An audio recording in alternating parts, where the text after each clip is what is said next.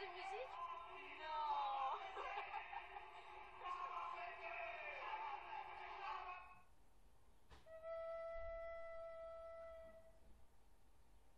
Bon, maintenant on va faire le mi. J'entends chiant. Les hein. trois ont changé.